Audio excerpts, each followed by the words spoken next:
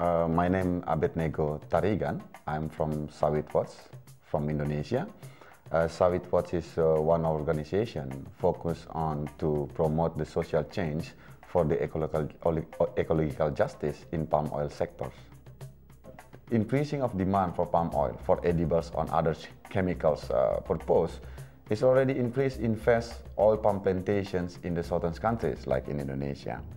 In Indonesia now, already 6.8 million hectares of palm oil, and the planning of the expansion is become 21 uh, million hectares in Indonesia. The negative impact of the development large-scale oil palm plantations is two, uh, two aspects. First is environmental aspect. Environmental aspect linked with the, the deforestations, drainage of the peatland area in Indonesia, forest and land fires there is a big issue related to oil palm plantations. In social context related to land grabbing, displacement of local communities, and uh, labor's right and unfair treatment for small-scale farmers. In Indonesia context, the, the, the land without the land title, that's automatically is state land.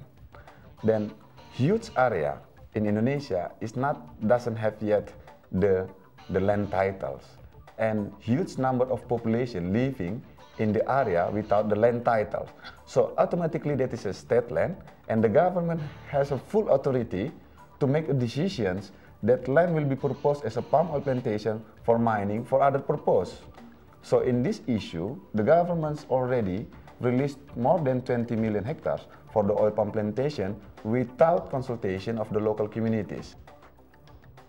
Sawit Watch focused on uh, working on the advocacy in the local uh, governments to assist the local communities how to get back their right related to land tenure rights and also campaign to, to, to put the pressure of the companies. In that case the, that company has a conflict with the local communities.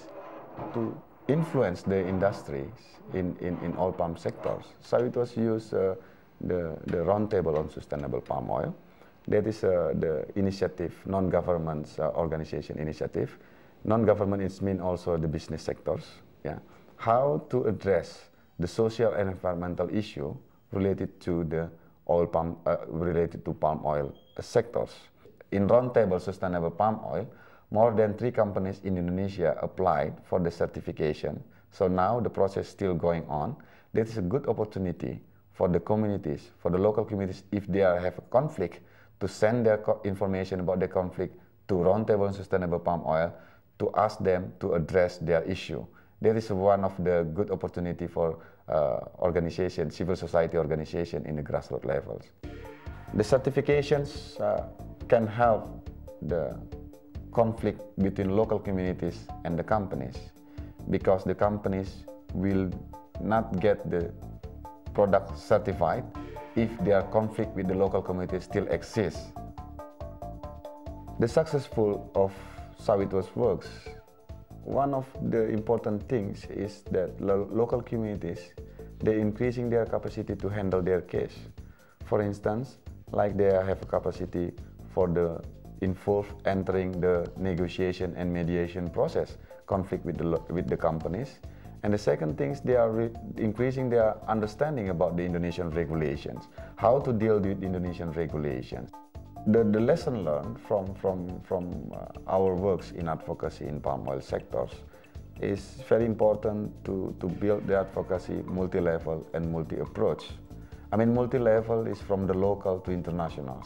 Multi-approach is not only approach the local communities, or not only approach the governments, but you but also you must approach local communities, the governments, and also the business uh, sector. So that is we call multi-level and multi-approach.